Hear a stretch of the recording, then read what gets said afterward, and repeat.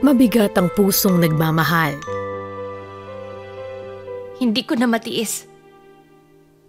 Hindi ko na kaya na tiisin lahat ng bigat mag-isa. Sabihin mo kung ano talagang nangyayari sa'yo o sasaktan kita at bubuwagin ko talaga ang mahal mong Vitalia. Fernando, Pasensya na, Luella. Nagdesisyon na ako. umalis ka na. At may sadyang pinagsasama ng pagkakataon. Kumusta, Miss Perospi? Sinusundan mo ba ako, ha? Ha? Umamin ka.